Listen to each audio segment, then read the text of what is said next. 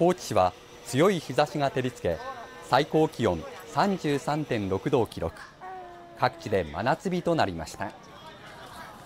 暑すぎてちょっとアイス食べたいなって思って来ました。高知駅前の旅広場では全国各地のアイスクリームやかき氷を販売する17の出店が並びました。秋市の焼きナスを使ったアイスに子供の顔が隠れるぐらいのてんこ盛りのかき氷が人気でした。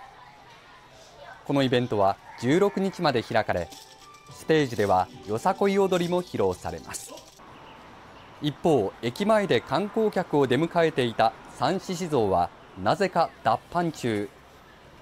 先月28日台風10号に備えて避難したのを機にメンテナンス中で来月中旬に戻ってくる予定です。